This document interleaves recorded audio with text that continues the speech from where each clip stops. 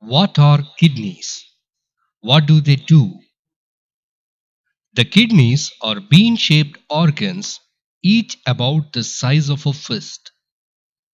They are located near the middle of the back, just below the ribcage, one on each side of the spine.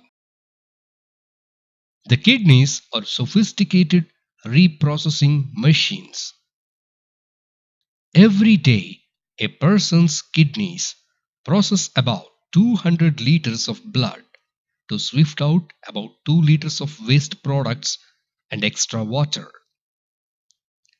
The wastes and extra water becomes urine, which flows to the bladder through tubes called ureters. The bladder stores urine until releasing it through urination. Wastes in the blood come from the normal breakdown of active tissues such as muscles and from food. The body uses food for energy and self-repairs. After the body has taken what it needs from food, wastes are sent to the blood. If the kidneys did not remove them, these wastes would build up in the blood and damage the body.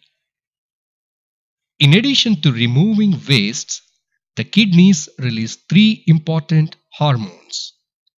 1. Erythropoietin or EPO, which stimulates the bone marrow to make red blood cells. 2. Renin, which regulates blood pressure. 3. Calcitriol, the active form of vitamin D, which helps to maintain calcium for bones and for normal chemical balance in the body. What is renal function? People with two healthy kidneys have 100% of their kidney function. Small or mild declines in kidney function as much as 30 to 40% would rarely be noticeable. Kidney function is now calculated using a blood sample and a formula.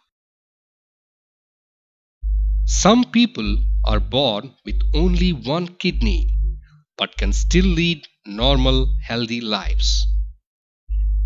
Every year, thousands of people donate one of their kidneys for transplantation to a family member or friend. For many people with reduced kidney function, a kidney disease is also present and will get worse. Serious health problems occur when people have less than 25% of their kidney function. When kidney function drops below 10 to 15%, a person needs some form of renal replacement therapy, either blood cleansing treatments like dialysis or a kidney transplant to sustain life.